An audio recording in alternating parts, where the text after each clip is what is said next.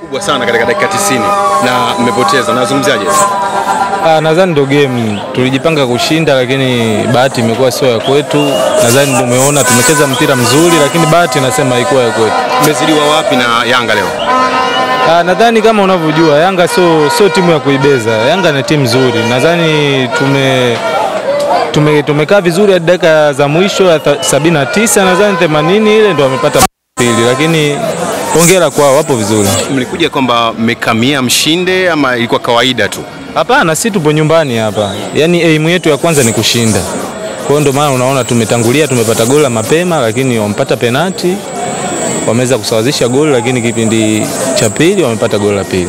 Kwa namna ambavyo mahesabu ya msimamo yalivyo ni kama hamna chenu vile Azam kwenye ligi. Kwa namna gani wachezaji na waumiza? Ah, inatuumiza kusema kweli, inatuumiza, lakini ndo, ndo mpira, ndo mpira. Mwisho wa siku inabidi tupambane, bado tunaendelea kupambana.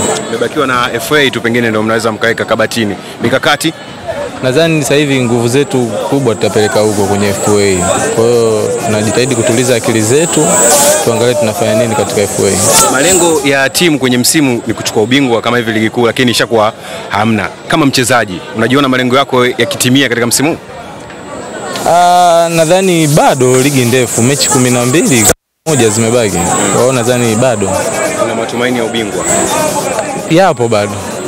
Pointi zaidi ya 20 mmeachwa. Ah, kukata tamaa bado, yani uruhusi kukata tamaa. Kwao tunaendelea kupambana hadi mwisho, tuone tunaishia wapi.